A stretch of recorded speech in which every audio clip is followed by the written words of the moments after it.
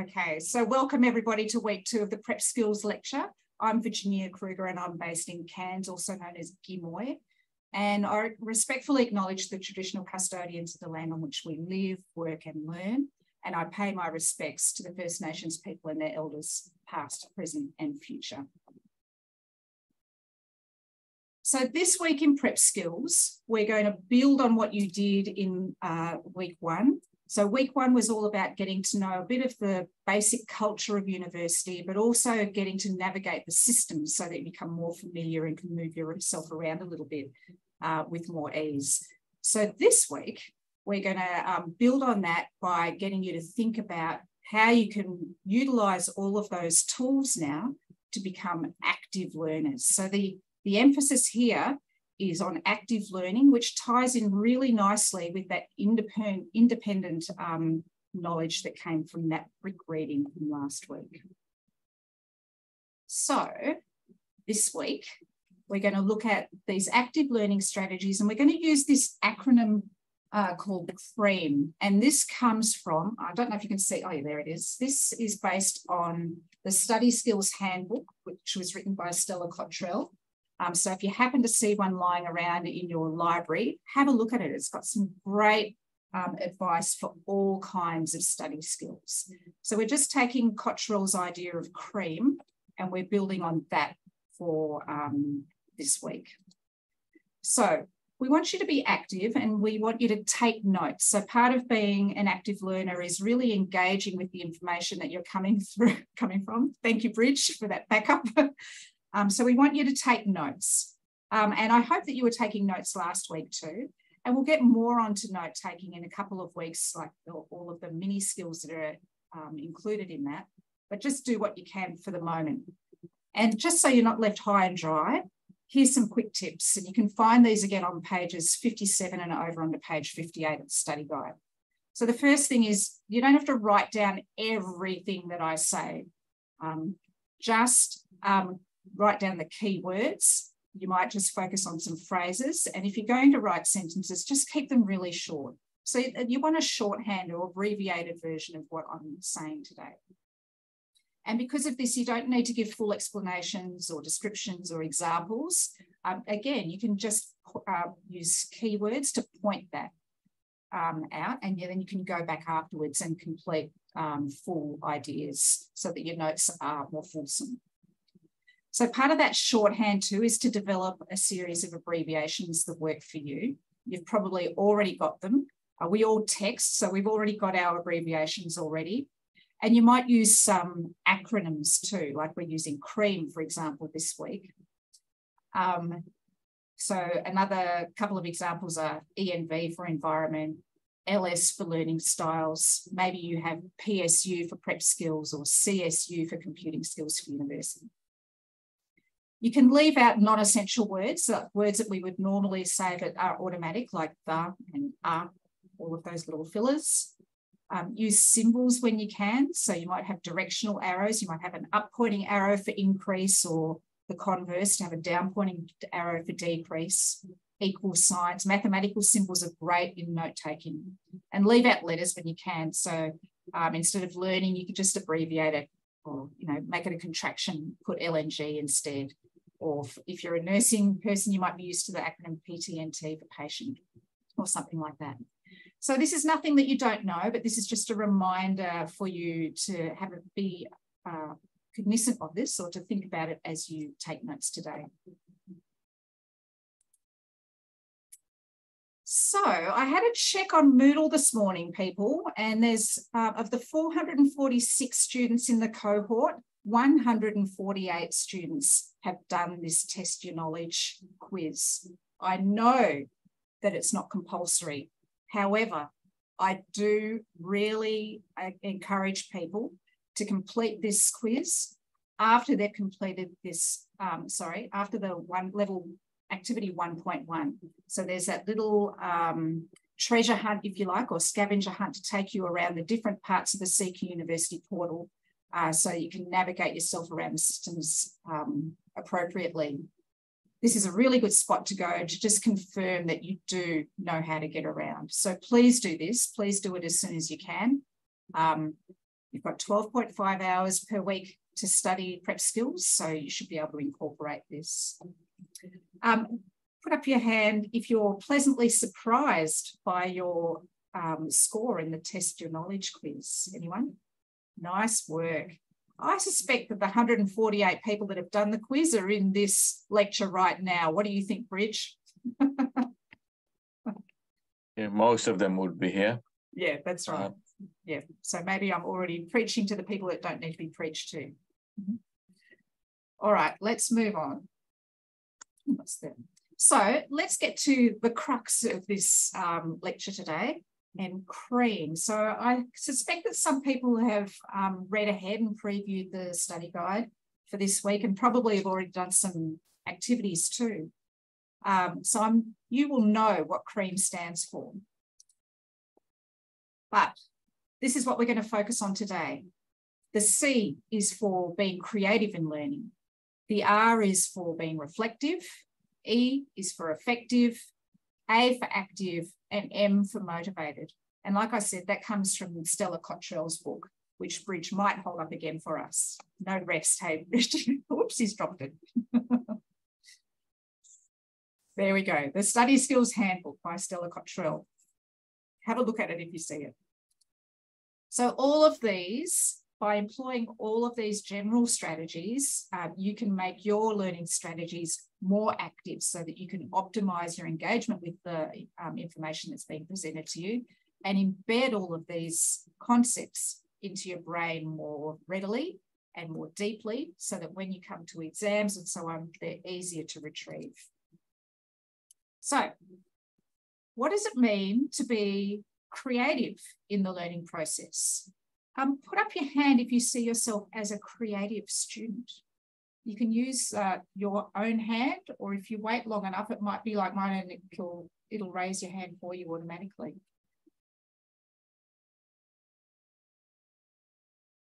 I've just realized that Alicia and Brock might be sitting opposite each other. Good, excellent. So, um, creative in learning doesn't necessarily mean that you are artsy. It doesn't mean that you'll bring your awesome painting or drawing or ceramic skills to um, your learning.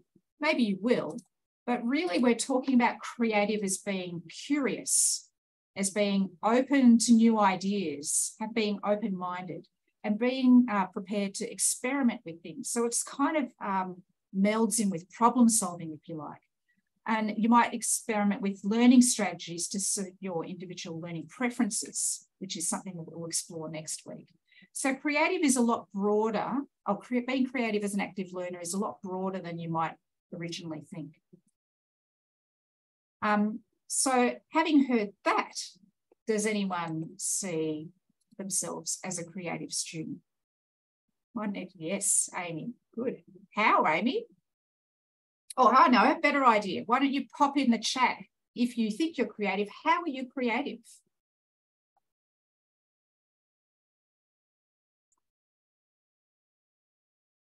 In what ways are you a creative student?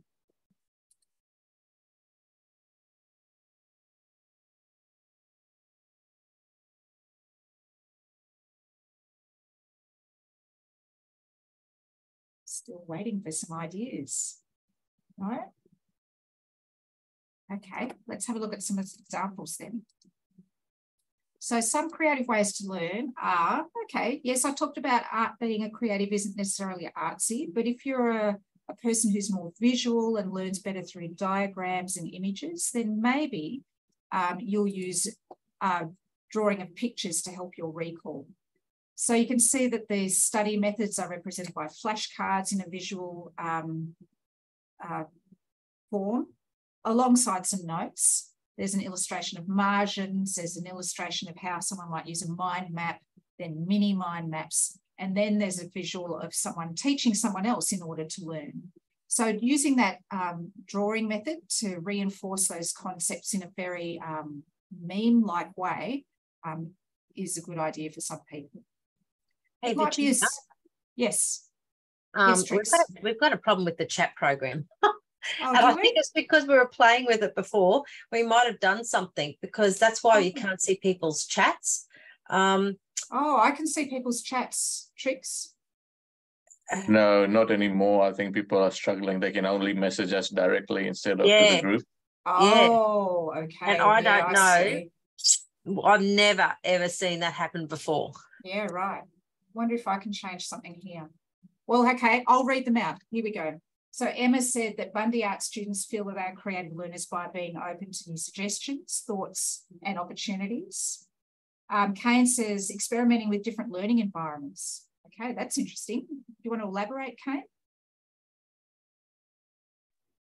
Uh, yeah, just I guess uh, I can't really say what learning environment is best for me yet. So just sort of playing around with what works. Yeah, good. And so that's what we mean by being open to new experiences and seeing exactly that, what works and how you can make it, tinker it to make it the best. So are you talking about online versus classroom? Is that kind of, kind of thing you're talking about?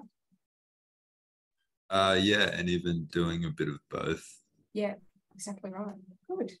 Um, Felicity uh, agrees, open to finding out different learning methods. Um, Amy says the same thing. She likes to explore different things. Ocean says somewhat, I think. Uh, I'm open minded to new things. And someone in the Gladstone Huddle space, maybe Alicia or Brock, is that where you are? No. Um, I create a nice environment to feel motivated. Uh, problem solving, adapting to online learning. Yes, and all, like you say, all of these are direct messages to me. I wonder if people um, can change it to everyone in their chat. Just have a play. That's that. what I'm hoping. I've just popped that into the chat. So can Uh, some of them can't see that that option for everyone is gone. Oh, yep. There you go. Yeah. It's back. there. Oh, maybe you needed to have it on tricks. Anyway, Don't let's keep know. moving. Oh, look, we're coming through now. That's there we go. There we go. Fantastic. Yay, back to normal. Good fix, whoever did that. Well done. Thank you. So um, keeping a notebook handy is really good. So when you get those ideas, you can write them down. Um, has anyone ever used their phone to record their notes? Is anyone like an oral learner and so they go better with recordings? Does anyone carry their phone and jot down their ideas as they're walking around and looking at the clouds? Yes, says Brock. Good. Good. Um, and then there's this one. So sometimes, you know, sometimes when you're vacuuming or you're doing some kind of activity that just takes you into the auto zone, maybe you're driving, maybe you're in the shower, um, and that's when all of your thoughts and ideas come percolating out. Has anyone been in that sort of situation? So often when you're doing that mindless automatic stuff, that's a perfect time for your brain to just filter through, sort the ideas out, categorize them, try and make sense of them. Um, so that's a really good space to be in. And sometimes when you've been working hard reading, then it's good to go and do one of those chores and then get those aha moments uh, afterwards. So creative thinking, just while you're doing those everyday tasks, is a really powerful yet simple one. Um, how are we going there with the chat bridge? Yeah, people are using text to voice, using auto to OTA to record uh, voices and the transcript, so forth. So they seem to have been playing around with a few things. Yeah, is good. fantastic. Good. We've got a bunch of creative learners here. Fantastic. And Kane, you've hit the nail on the head there where you said eureka moments whilst washing Yeah. the dishes. Perfect. Thank you. I've got lots of dishes at home to be washed if you're interested. Anybody is interested? he lives too far away. Sorry, Bridge. so, being a creative learner means being a creative problem solver and a lateral thinker. So, thinking outside the box. And there are some techniques that can help you with this too. Um, and this is something for the chat for you guys. So, we can use analogies to help us remember information or concepts as well. So, for example, if I said to you, writing an essay is like making a cake because put your answer in the chat. So this is an analogy, a creative way of approaching um, learning. Writing an essay is like making a cake because There's a recipe, there's the layers, Hmm, instructions, mhm. steps to follow. Beautiful. Ingredients. Okay, you've come across all of those commonalities really easily. Nice. So yes, you follow a recipe, you set ingredients, and you make a mess, and then you clean it up again. But it's still good at the end. Okay? Raw form, all, all finished. okay. So that's um, the C in the cream. Now we're going to look at reflection, the R in the cream acronym. So here's something else for you. Try this one, another analogy. Self-reflection is like a window because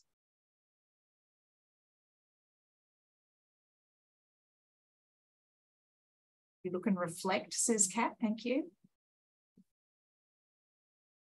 Any other ideas? This is a bit harder, perhaps. Oh, I like that, Amy. You can look out many windows to see different views.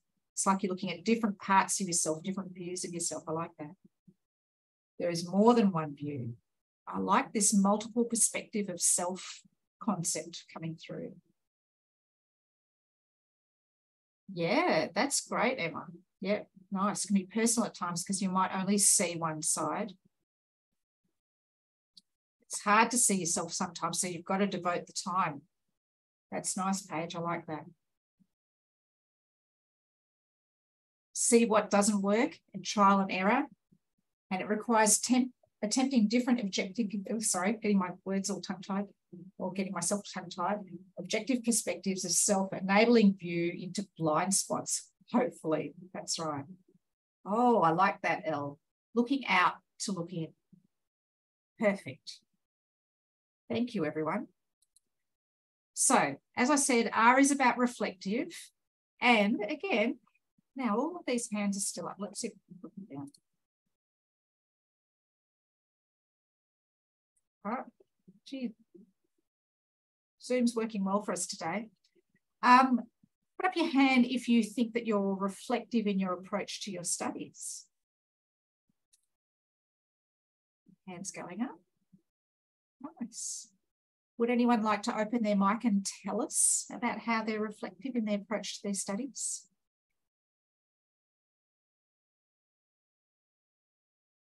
No? Anyone want to put something in the chat? It's like Cam's typing something. Or no? All right. So at university, we really um, encourage people to self reflect. And in fact, you're required to do it in a lot of your units, um, in all of your degrees. So at every point through your study, or many points through your study, you'll be required to write in a critically reflective way. So, for example, when you're on teaching practice or nursing placement or um, on a project in an engineering company, you need to be able to reflect on what you've done and look at ways that you can improve it. So, this critical self reflection is all about making yourself the best you can possibly be in steps as a student, in your undergraduate studies as a student, but also in your undergraduate studies as a developing professional in your field. And then as you become a professional in your field, reflecting so that you can improve and make progress both for yourself, but also for your industry. So critical self-reflection is a, a, starting point for progress, um, both for self and professionally.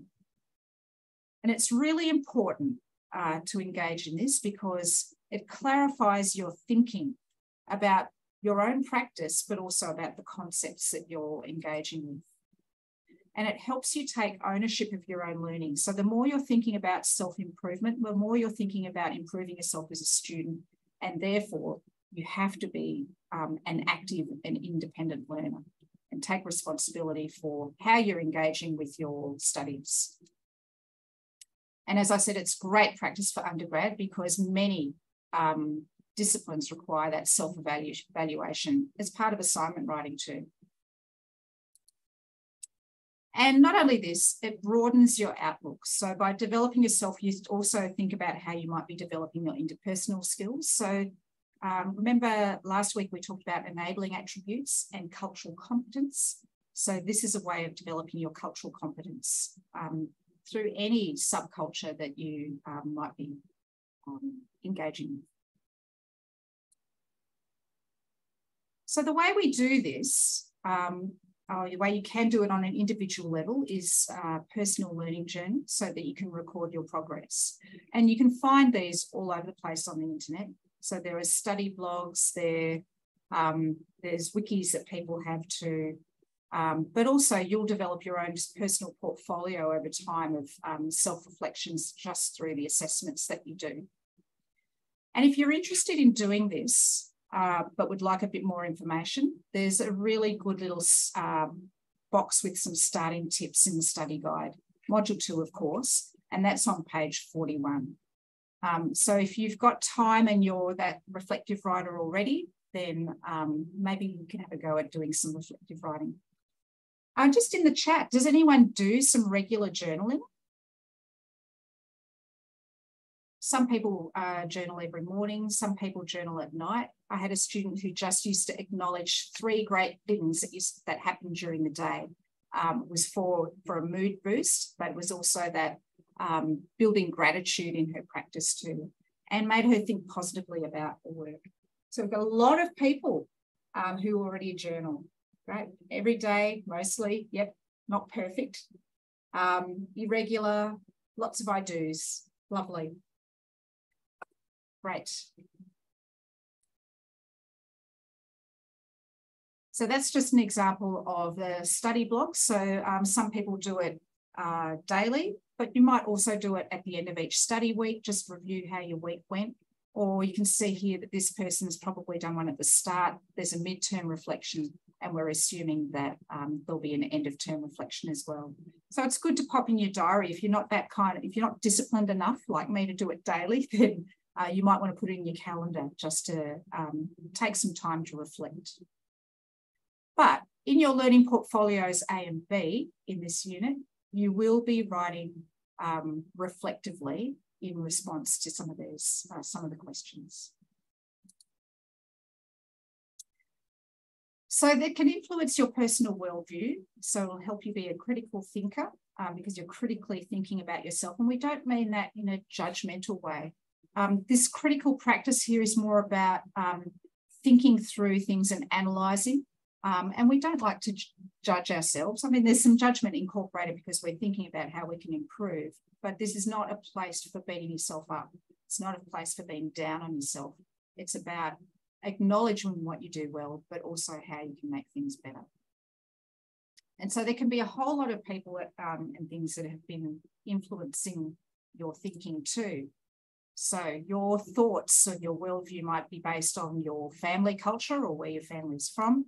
Um, it might be influenced by your friends, uh, your partners, of course. Uh, your work colleagues can have a huge influence on your worldview. Uh, the community groups that you participate in, um, you influence them and they influence you in turn.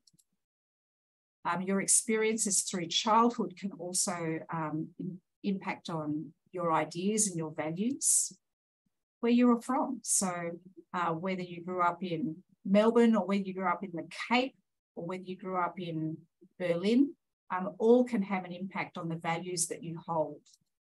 Um, your race, your cultural background, the school that you went to, and the training that you received, who you received that training from, your work history, your religion can influence you, um, and your age can influence too, you too. We know that certain age groups, uh, in a general way, um, also have a pattern of values that um, bind them together. We've all heard of baby boomers and millennials and X, Gen Xers and all that. And travel is a huge thing that can influence um, your worldview. So there's a lot to think about about what makes us who we are and what we value and what we believe. So um, it doesn't mean that we stay there. We can still broaden our, our horizons, think critically about our experience and how that's influenced how we participate at university um, and how we can make that better. So I encourage you to have a look at uh, activity 2-7, that's on page 43 of the study guide. Um, if you want to reflect further on that, Um, and people who are in essay writing, you'll be doing similar kinds of thinking when you're thinking about your worldview as well. So this critical self-reflection is based on um, the idea that self-knowledge is the beginning of self-improvement. And that's uh, written by uh, a quote by Baltasar Gracián. And this is Paul. Uh, you'll see his banner on the Prep Skills uh, Moodle page. And he actually uh, started with a different view of self-evaluation and prep skills overall. So he says self-evaluation should be a part of, uh, sorry, a vital part of any learning journey.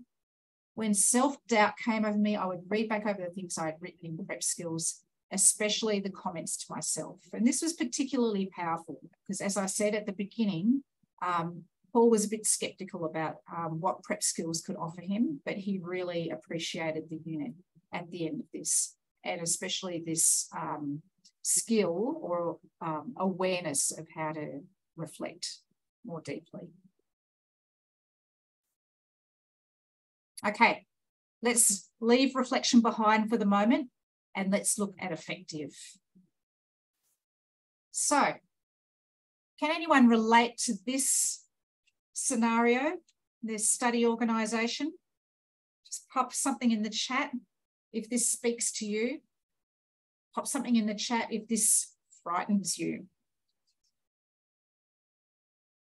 Ooh la la, says Amy. Is that a good thing? Cooking supplies, Carl. Okay, your pantries looks like that. Riveting, nice. I know it's very attractive, isn't it? But we this is demonstrative of something that um, can actually stand in the way of you studying effectively. Does anyone have any ideas? It, what's appearing in the chat bridge? Everybody seems to be quite impressed with it. Yeah. The organizational skills. Yeah. Um, perfectionism is the word that's been used, and that can definitely be a positive and a negative Yes. when it comes to studying, folks. That's uh, exactly perfect. right. Perfectionism can be procrastination. Fantastic, Brock. Exactly, Brock. And this is what point that we'd like to make to get across here. Remember, you have 12.5 hours per week per unit. And how long do you think it would take to set this up? I think it would take me, oh, half a day maybe, if I got everything straight, made the sure the labels were all right. And that half a day is half a day that I'm not spending on my studies. So yes, organisation is effective, but we need to balance where we're going a bit overboard to what we call virtuous, um, being virtuous instead of effective. So virtuous is uh, the kind of things where you're looking for approval, where, where everything is seemingly beautiful on the surface, but maybe underneath, you're not getting the work done. So somehow the people who are uh, tend to run their perfectionism you need to pull back on that a little bit if it's starting to impact on your study time and think about ways you can spend your time more effectively. It's beautiful, sure, but did the essay get in on time?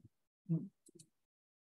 So if you want to explore that a little bit further, have a look at activity 2-8. It's interesting to see, quickly puts their head down to see and note that activity. so the other thing is um, we can look really busy like we're doing work, but are we be really being effective with our time? So there's a similarity here where you spend look busy um, making everything organized, but are you getting the work done? Are you spending all your time organizing your schedule or are you getting the work done? So keep an eye out for that little self-sabotage pattern or those two.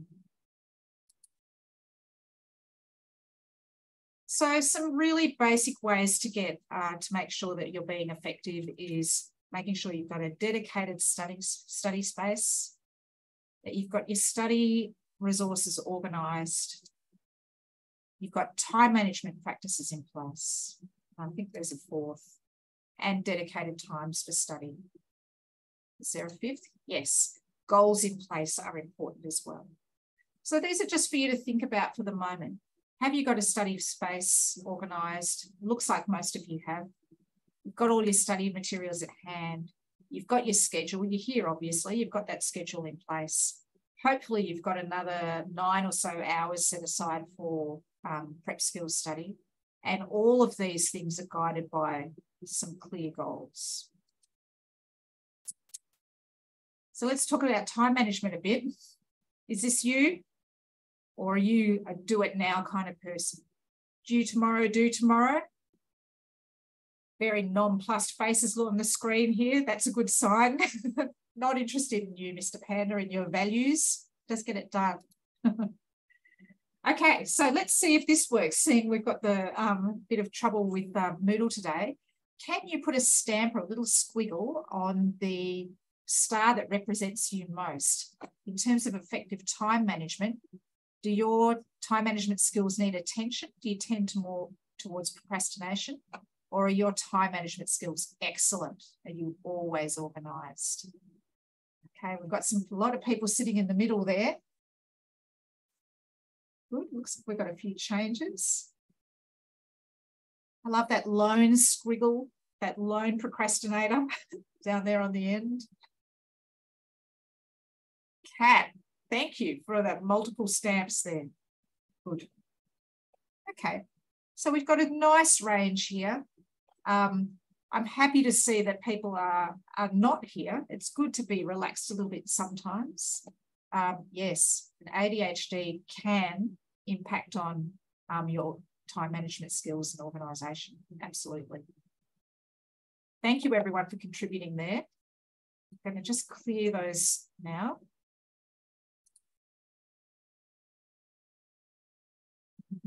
Wow, that's awesome. And look at that little love heart in the corner. Fantastic. All right. I'm going to ask you to stop because I'm going to clear. All right. Thank you, everyone. That. All right. So we've got a good range of people's um, rating of their time management skills. It means everyone's got something that they can improve on. Um, so Activity 2-11 in the study guide just gets you to map out exactly where you're spending your time. And it's it can be a little bit difficult because we know that every day is not exactly the same. And if we look over a week, we've also got our weekend activities to incorporate, um, depending on where your weekend is, of course. So you might look at this as a, like a generalization, how many um, over 24 hours or over a full week.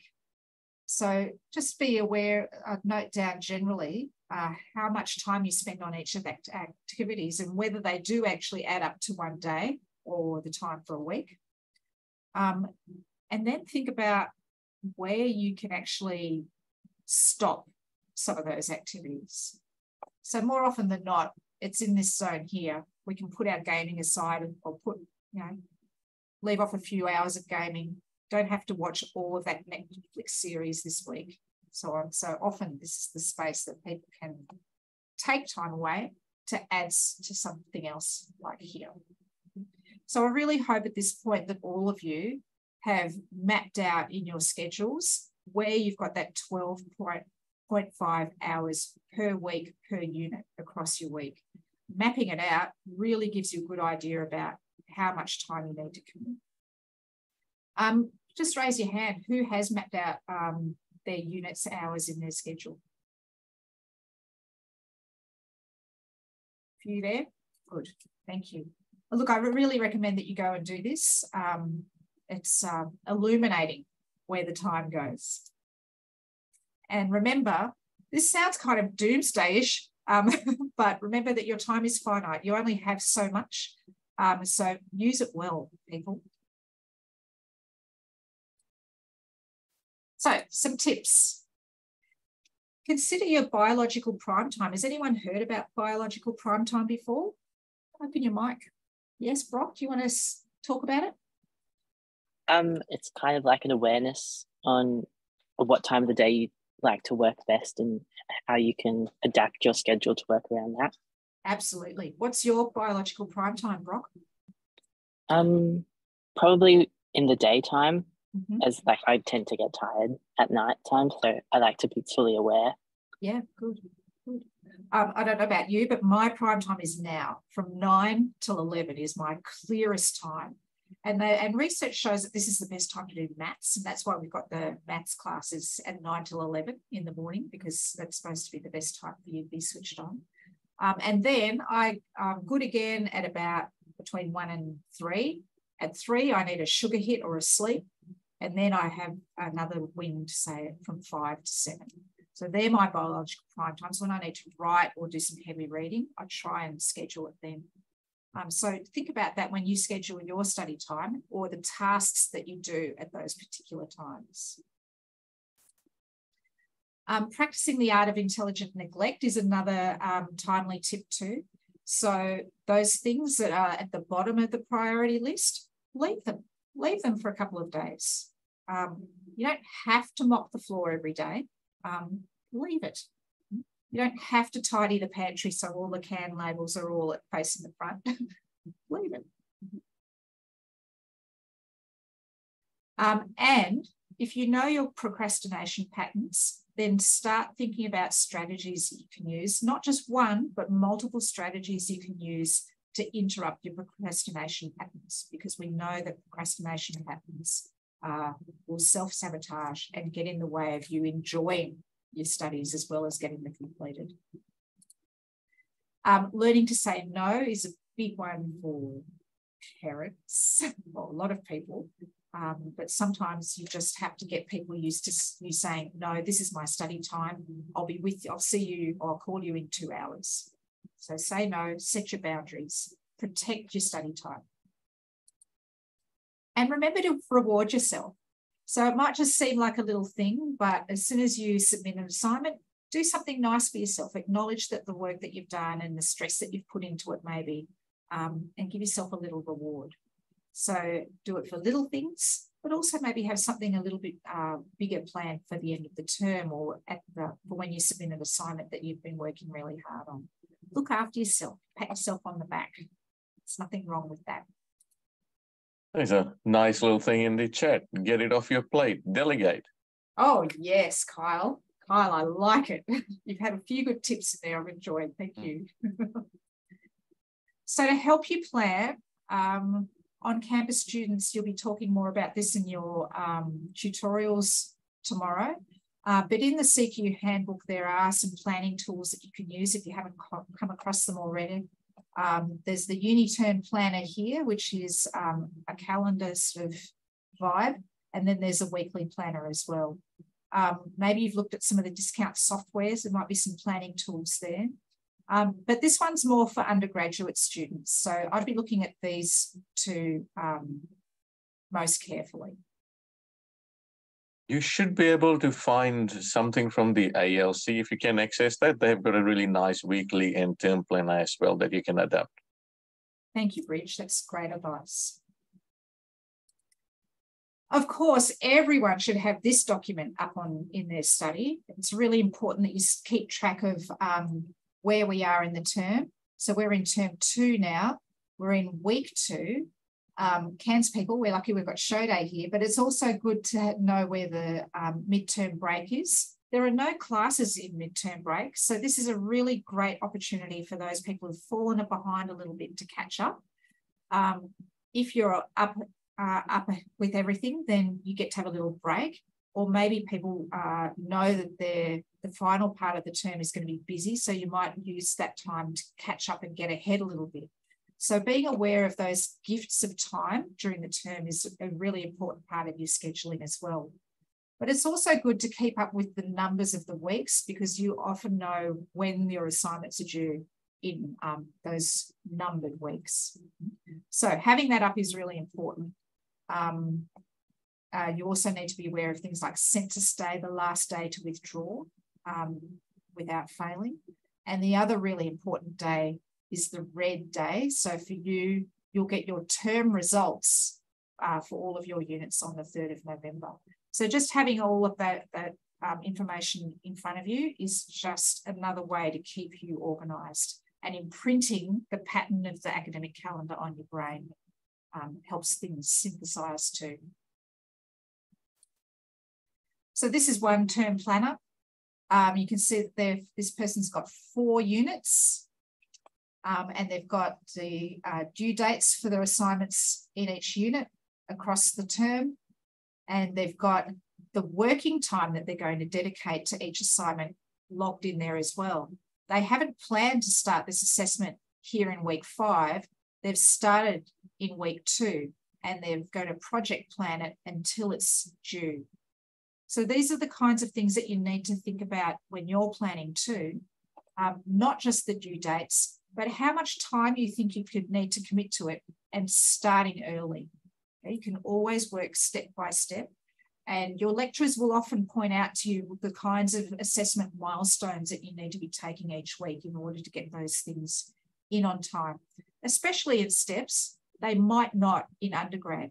So it's good for you to start thinking about your assessments in this long-term planning way, not just about the due dates.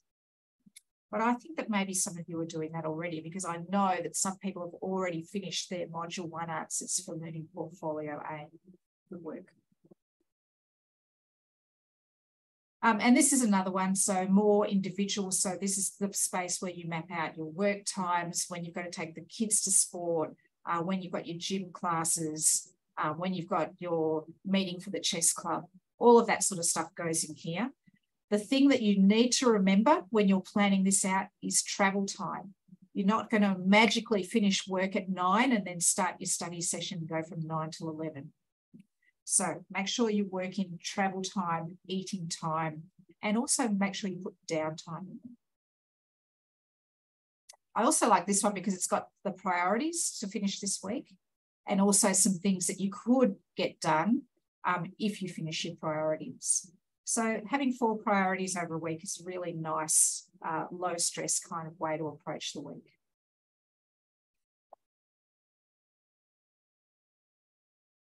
Then we drill down, we can put those priorities in a list for um, each day. So they're more general sort of jobs to do, but you can imagine that there'd be other things in there for a, a student, like Zoom lecture Monday morning, 10 o'clock. And then for some of you, Zoom lecture, 12 o'clock. And uh, we live in a digital age, so I know that there's a whole lot of apps out there to help people organise their time and increase their productivity. Um, does anyone use a particular app for time management or to organise themselves? Pop it in the chat. Let's see what you've got. I'm always interested. There's always new ones coming up. A few people typing.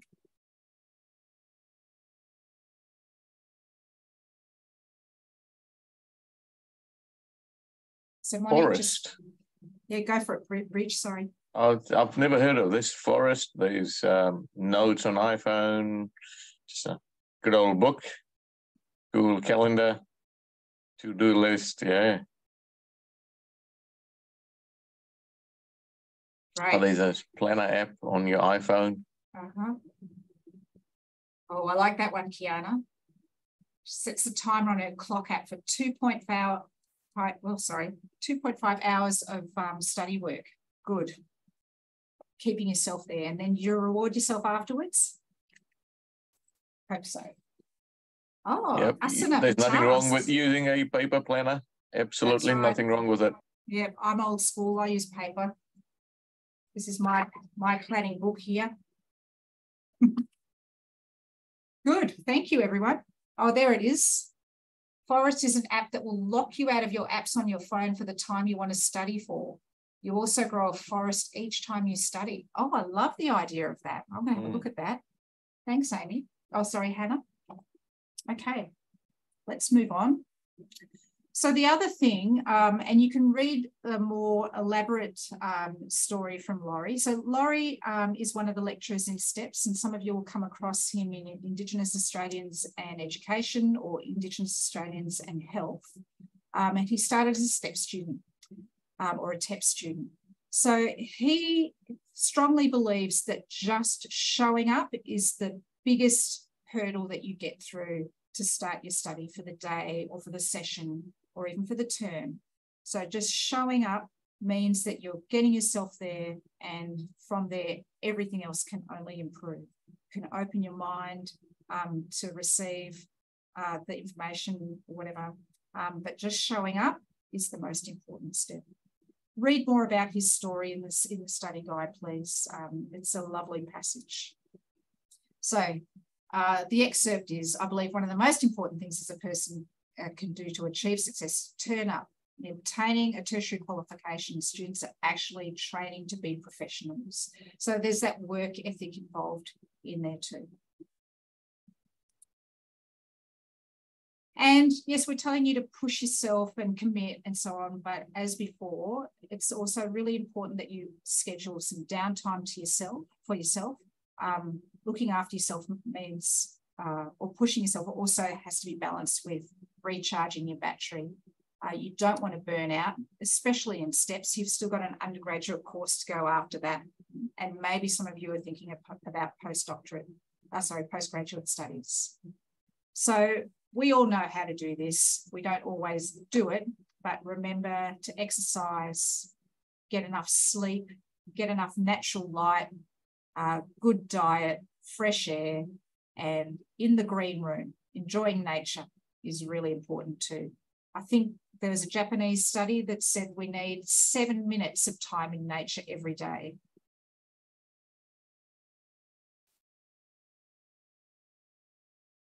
So still thinking about organising your space and everything. These are some CANT students study spaces actually that they've shared with us. You can see that um, they're all beautifully organised, nice and tidy for the photos.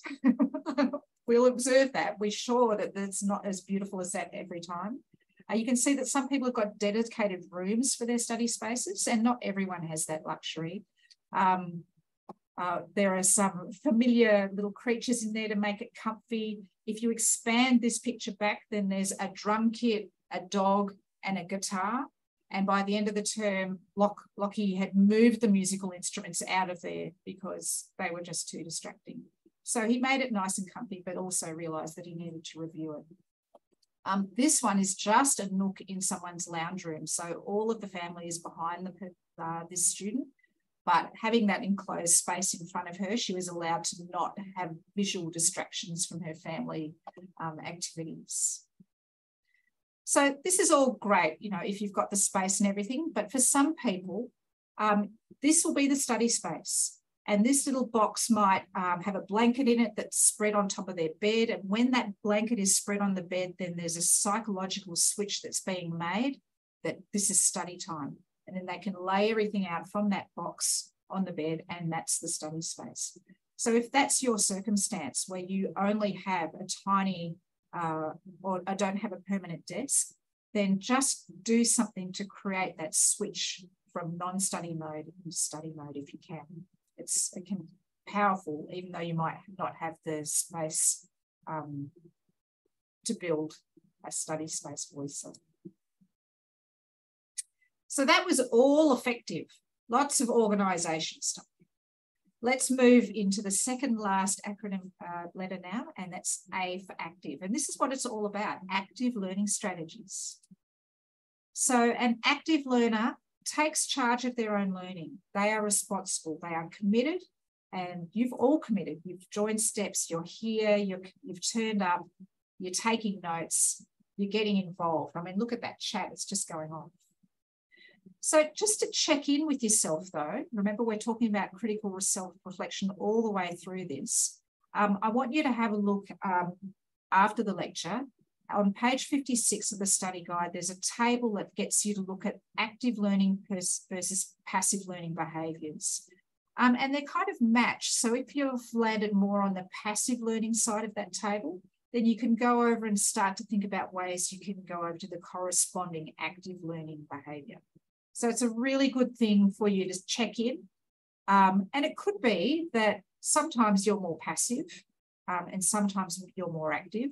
You might oscillate between the two.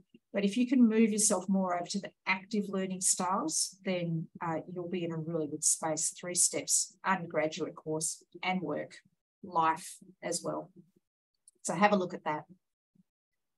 So active means being attentive in class, taking notes because if you're taking notes, it means that you're taking the information not just here, but down through your body and incorporating it. There's something about using your muscles that embeds it more deeply in your brain. Another good thing is to have your mobile on silent or maybe out of the room or often in your bag. phones are the arch nemesis of study. Look, it's people just looking sideways and turning off their phone now. I saw that. Good on you. Do your homework. Yeah, make sure that you complete the week's activity, like week one's activities, um, on time so you can start fresh for week two and so on. If you've been set homework to prepare for before class, then do it. You'll just maximize the class's learning um, by having that homework completed. You can move through quickly if everyone's informed and going, uh, starting from the same point. So do your homework. Um, I don't have to say anything about this to you guys, but getting involved in discussions is really good in class, but also online. And maybe we'll stop just here for a moment, Bridge. Is there anything in the chat uh, that's oh, worth? Yeah, somebody said, uh, Kyle, you know, you sort of you dress and you go to to your study space and you study like you're going to work.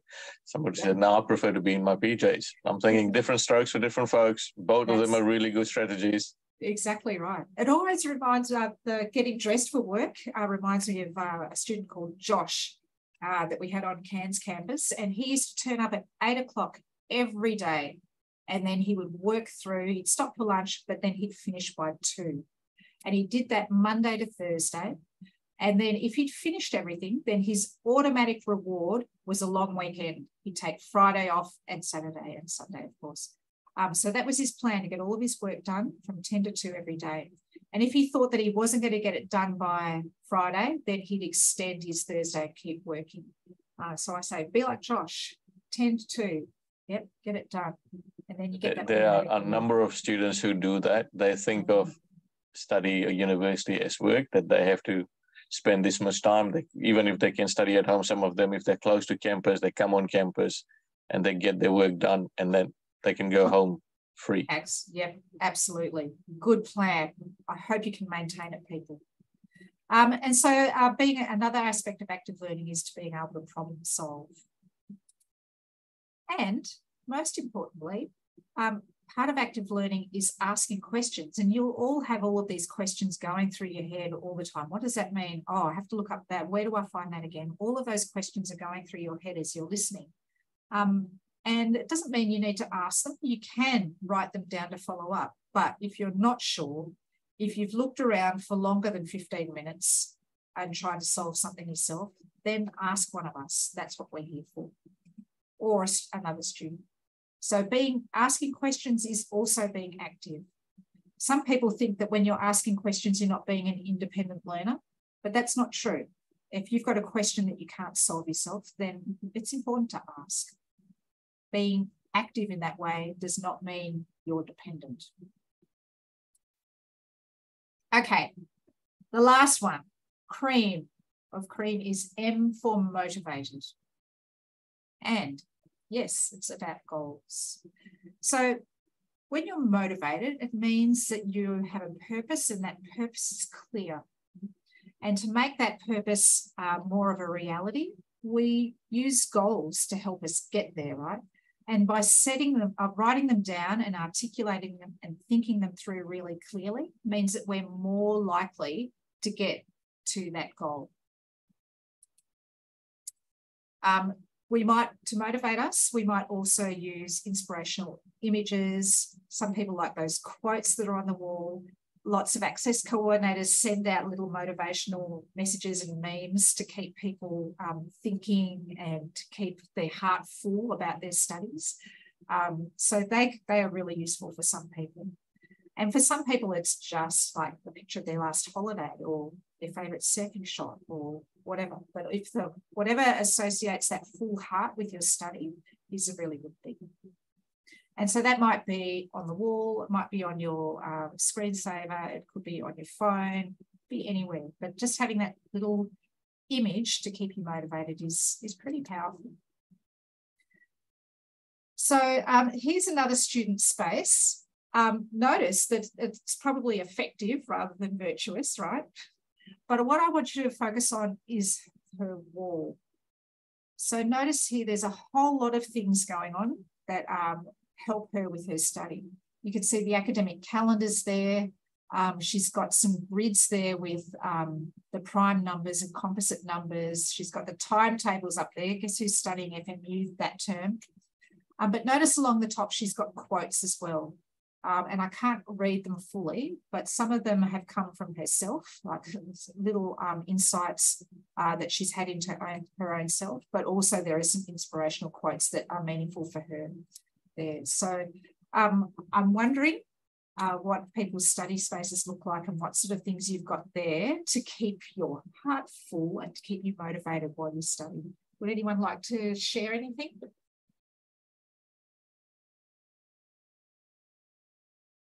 Yes, Kiana, if you're not strong on tables, it's a good idea to have those tables there to check while they're still being embedded in your brain. and Kyle, you're reading about your field of interest. Excellent. That's good. That's a great motivator. Like if you can remind yourself why you're doing steps, I think that's going to be a really great motivator to make sure you finish on a high. Absolutely. And I don't know how many of you've completed the My Contract activity from last week and whether you sent it through to your support lecturer or uh, tutor. Um, but a lot of students keep that up there too, because often those initial motivations for starting steps are written there. And they might have something like, you know, I want to uh, show my kids that they can go to university too, like all of those little goals and things that you value that you bring to your studies and your goals are important to remember.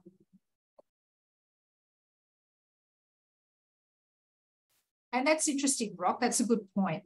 Uh, so Brock says all of that, um, especially the fluoro colours, are a bit jarring for, uh, for you. So um, you get to make that the way you want it. If you like neutral tones or textured things, then make that make your study space be what you want to be.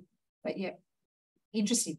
Um, Brock, pay attention next week when we talk about learning styles. So I'm really fascinated. Anything else in the chat, Bridge?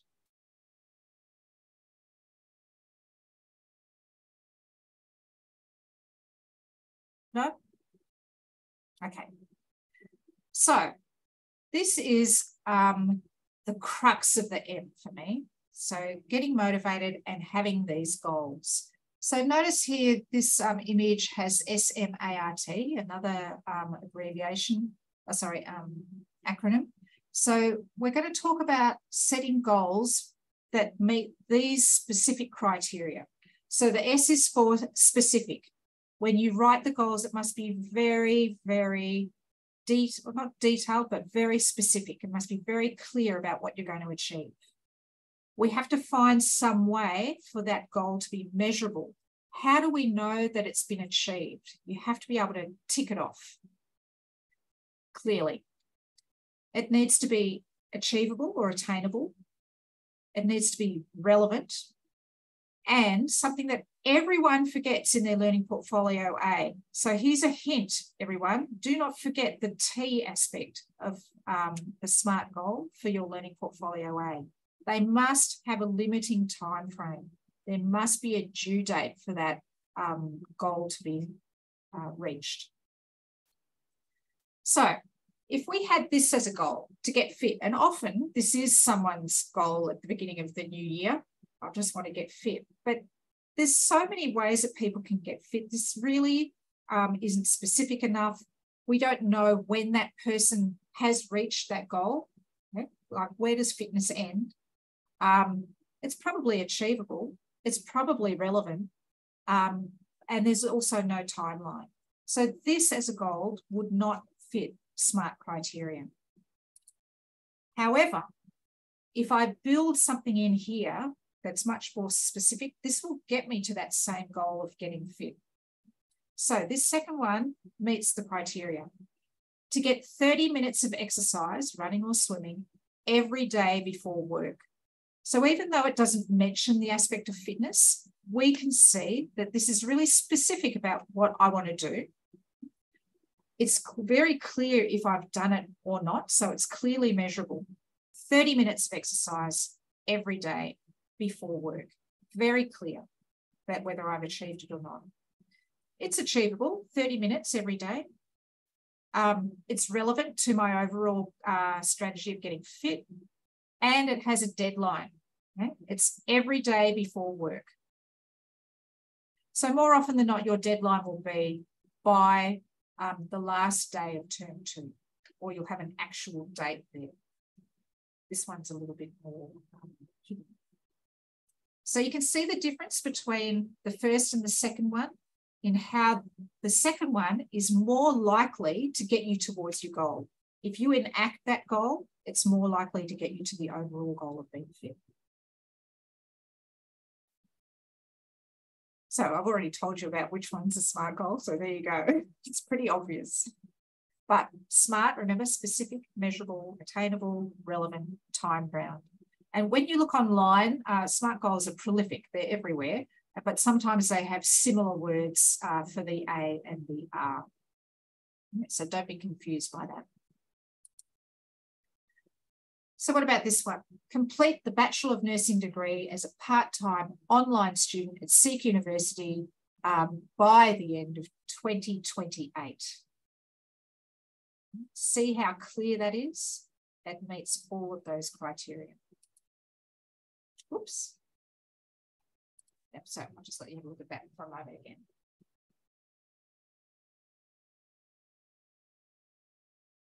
Okay, so um, another form of motivation, and you'll see a lovely video made by Trixie um, uh, this week that talks about the hero's journey. And so in a nutshell, um, the hero's journey is a device that's used across many movies, many films. So we have a quest, the, the hero of the story has a quest. They've got uh, a goal that they need to meet. But along the way, they might have uh, obstacles that get in the way. They might have um, things that distract them. But they will have times when they're going really well, and then all of a sudden there'll be some obstacle that uh, takes them off the path a little bit. So uh, Trixie's video uh, talks about this hero's journey and how it applies to her life as a student and um, in her career, but also how it relates to your studies and how things we have a plan and we hope that they go well, but we also need to be aware that there will be obstacles and challenges along the way and that we need to prepare for them. So please have a look at that video. Um, and then I believe that there's a forum that goes with it too if you'd like to comment on it.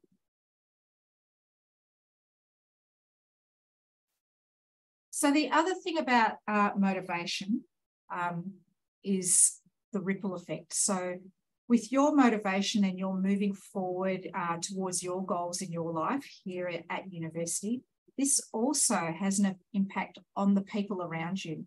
So I mentioned earlier that some of the motivation for some parents to be here is to make a better life for their children, but also be um, a role model for their children uh, with what you can do with your life and realizing your goals and getting a tertiary education in some cases. So children are the immediate impact for um, your motivation and your uh, experience at university. But it also happens for your friends and your family. And maybe you're here because a friend of or a family member has been through steps and told you all about it. But I'm guaranteed that some of you will be talking to your to the people around you um, and um, introducing them to steps.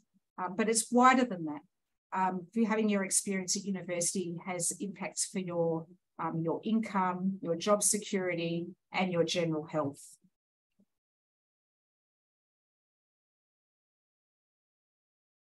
And then when we talk about motivation, we also need to talk about self-sabotage because self-sabotage is uh, those series of or those behaviors that get in the way of you achieving your success. They get in the way of your goals. And we do this to ourselves. Those staying up too late watching Netflix, staying out too long, saying yes to um, social commitments that you really uh, should say no to because that's your study time. Um, planning and organizing at the expense of actually doing work and so on. Does anyone have any um, self-sabotage behaviours that they would like to put into the chat, chat to share. I'm sure that there's quite a few that we share.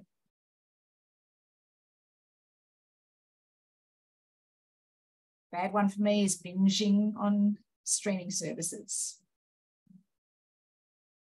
Making excuses for yourself, Kiana. Mm -hmm. All the ones I mentioned. yeah, that's true. Yeah, there's not just one, there'll be several. Oh, yes, Kane. Yes, that's a good one. You've got to make sure you back up your work. Yep. Yes, Kata, overthinking things um, is a way of self-sabotaging. Instead of breaking it down into manageable chunks, just like letting yourself get stuck there and getting overwhelmed. Yeah. Oh, yes, YouTube, indeed. yeah, I think we share a lot, people. So here we are, over summing up. So in all, successful students are active learners and they are problem solvers and they explore possibilities. So they tap into their creativity. Active learners pause to consider how they learn best. So they stop and reflect on their practice, stop and reflect on the knowledge that they're investigating, um, and think about how they can do things better. Active learners are focused and organised and they use time management skills. So they're effectively organised. Active learners take ownership of their learning. So responsible, it's active. And active learners set goals and keep themselves motivated. So more often than not, we're here because the motivation comes from within but sometimes we need to look outside for that motivation too. So that's where that goal comes in and where all of those little rewards come in. Patting yourself on the back goes a big way, a long way. Okay, so what we've got here are the questions for module two for learning portfolio A. Um, now let's, I'll just read through them quickly. So the first one says, according to module two, why is self-reflection considered a valuable skill at university? Provide at least two reasons. And in the study guide, you'll find a whole range of reasons. So take your time to read through that and really understand the, the um, requirement for self-reflection. The second question is asking you to write some SMART goals. So there'll be one short, one medium, and one long-term goal. And those what those timeframes mean are in the study guide. Okay. So make sure that you meet all of those SMART criteria when you write those goals. And remember the time frame is important. It's a common element that uh, students leave off. So T for time frame, um, think you have to add a deadline. The third question for Learning Portfolio A Module 2 is how will you manage your time so that you can devote yourself to your studies? Describe how many units you are studying this term and how you will distribute the expected hours per week for these units across your week. So here you need to elaborate on how many units you're doing in the term and how much time you're expected to study. Then give an indication of how those hours are allocated across the week. So be quite specific in your answer for number three. And the final question is, describe two specific time management strategies mentioned in module two of the study guide and how you will use them this term. So try not to use one that you've already that you're already uh, using. Try and uh, test your creativity and choose something that you um, mightn't have thought of before or have wanted to try for a while but haven't uh, really managed to manifest it yet. So I hope you can see the connection between what we've talked about today and these learning portfolio questions. Another really good way to start your week when you're thinking about what's coming up is to start with those learning portfolio questions. Read the questions before you start reading through the study guide because that will also help focus your reading. So hopefully that's a tip that will make you more effective as well. Any questions here? Um, Bridge, is there anything that we need to address in the chat? Look, Sorry. it seems like most of you who have posted recently know exactly what you're doing wrong, self-sabotage, procrastination. Now is the time to start doing something about it. And just one piece of advice, if you have decided, okay, I'm going to stop this habit by doing A, B, and C, and you do it once, great. The second day you fail miserably, that doesn't mean you give it up. It just means you failed one day, you keep, you get up and keep going again. That's right. Thanks, Bridge. Okay, the last thing I want to talk about um, with this uh, set of questions for this learning portfolio that A this week is the word count. So here we've got 300 to 400 words allocated for the module. So what this, there are four questions. So you're looking at an average of 100 words per answer. Okay. So it's not 400 words per for each question. That's almost the length of the whole assignment. So just about 100 words for each one. Notice with the SMART goals, you only need to put the goal itself. You don't need to put any background information. So this for this one, you might only spend 50 words, which means you've got a little bit more to answer maybe this one, which is longer and has more components.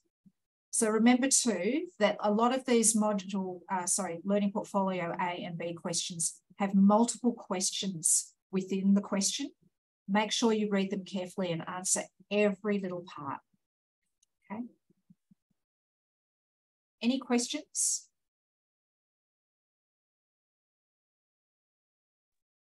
Okay. Thanks, Virginia. Um, no worries, Emma. Thanks, everyone. Bye. Thank you, art students. See you later. Thank you. Best of luck. Ta. So, um, a goal without a plan is just a wish. Stop making wishes, set some goals, and then start uh, working towards them, people. It's your future. So, there's one question there saying yes. regarding activities for weekly modules, are there activities to be done and uploaded each week, plus the three to 400 words mentioned here today, for example, which must be included as part of the LPA? Okay, so with the activities that are in the study guide, you don't need, we encourage that you do them. Sometimes there are answers um, in the study guide, but you don't have to submit them to your tutor or support tutor. Um, so you don't need to submit those activities. You'll do your work on your module, oh, sorry, your learning portfolio A, and you'll just save that for the moment. And you'll then next week, uh, this at the end of this week, you'll complete your answers for module two. At the end of next week, you'll complete your answers for module three. During week four, you can tidy that up. Maybe you have a new thought or a new example you want to include, edit it, and then you'll upload that into Moodle.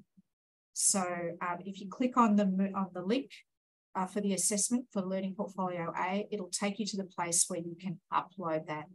And on Moodle, there are, and in the steps guide for students, there are instructions for uploading your assignment. If you're stuck, just get in touch with one of the um, lecturers. We'll give you a hand.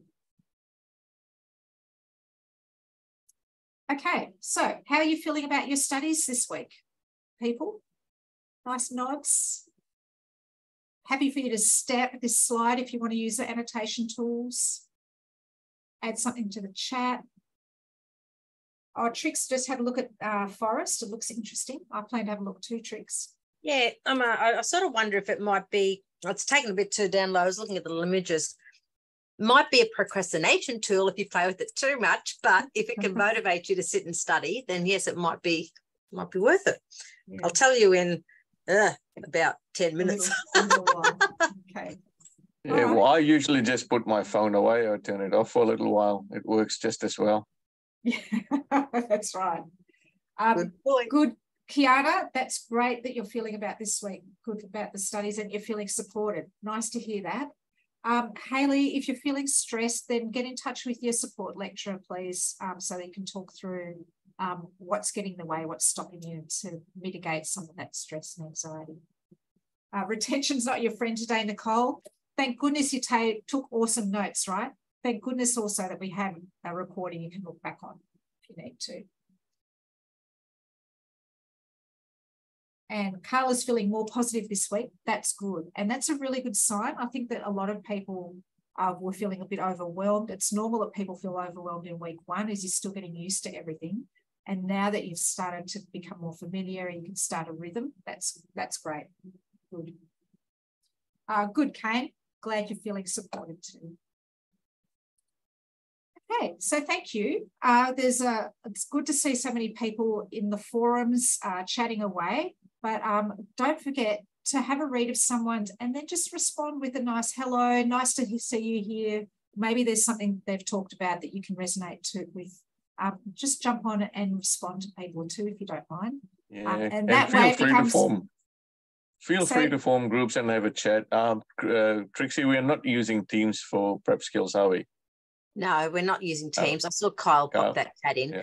Um, I did post on the study groups forum over the weekend, uh, suggesting that online students, instead, if you haven't got people close by, maybe start an online study group, a little bit like what we're doing here. And we run a, a shut up and write group where you log on at the same time, um, you set your goals of what you want to achieve, and then you literally mute and stop video, go away for 40 minutes and do your work. Then you come back, have a chat. How'd you go? What I'm going to achieve for the next 40 and do that. And it's a great motivation tool. It keeps you accountable to the other people in the group.